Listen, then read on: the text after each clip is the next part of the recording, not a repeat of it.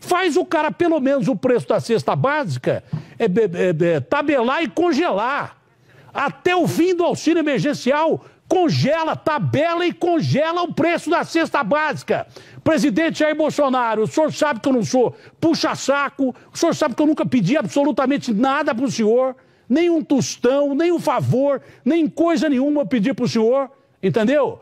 Mas, por favor, eu estou pedindo, em nome do povo brasileiro, congela a cesta básica, tabela e congela a cesta básica até o fim do pagamento do auxílio emergencial.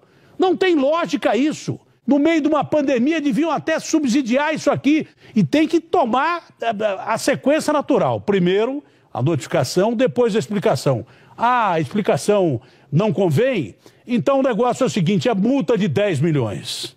Entendeu? Por que, que vocês estão cobrando esse preço absurdo? Se a resposta for absolutamente é, indevida e negativa, multa de 10 milhões. E, se preciso, cadeia em alguns casos, quando cobrarem preços abusivos.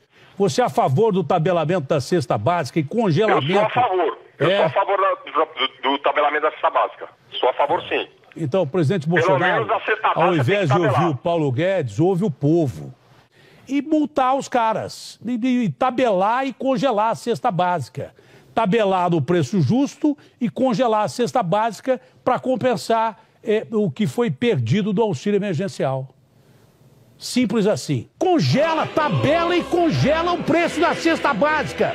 Congela a cesta básica, tabela e congela a cesta básica. No meio de uma pandemia, deviam até subsidiar isso aqui. Multa de 10 milhões. E, se preciso, cadeia em alguns casos, quando cobrarem preços abusivos. E multar os caras. E, tabelar e congelar a cesta básica.